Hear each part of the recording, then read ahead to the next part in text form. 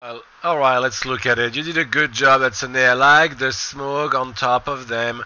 That's fantastic. That looks really good.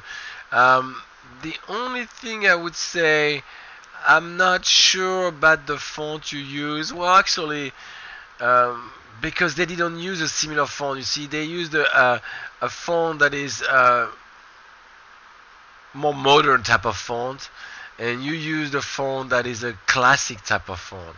And I'm not sure that goes very well together. Let's look at it again. Um, let's see it more than once, obviously.